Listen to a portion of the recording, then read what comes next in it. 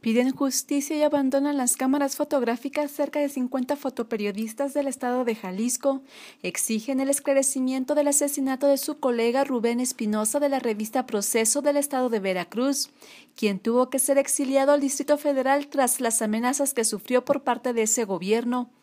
Integrantes de varios medios de comunicación se reunieron en el Parque Revolución frente a la imagen del finado periodista veracruzano, colocaron una veladora, flores de color blanco, cámaras fotográficas y mensajes que a la letra se leía no más sangre ni uno más y justicia precisa uno de los fotoperiodistas de la revista Proceso Jalisco, Rafael del Río.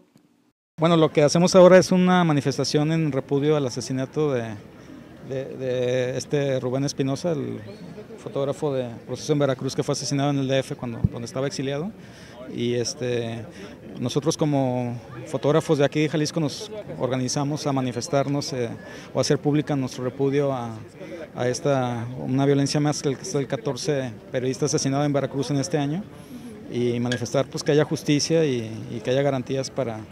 para los reporteros, para periodistas y para cualquier ciudadano común en Veracruz y en todo el país. ¿no? Durante la manifestación de periodistas de Jalisco, el fotoperiodista Refugio Ruiz leyó un pliego petitorio, hizo un llamado a la Secretaría de Gobernación, a la Comisión Nacional de Derechos Humanos y a la Procuraduría General de la República para que atraiga el caso y dé con los responsables del homicidio. Indicó que en Jalapa, Veracruz, los compañeros de Rubén Espinosa, quienes trabajan en medios como Proceso, ABC Noticias, Plumas Libres, Expediente MX, La Jornada Veracruz, entre otros, responsabilizan al gobierno de Javier Duarte y a la Secretaría de Seguridad Pública de cualquier agresión a su integridad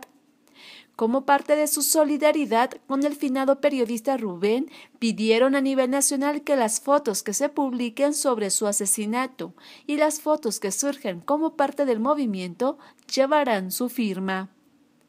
Con imágenes de Eduardo Fierro, señal informativa, Isaura López, Villalobos.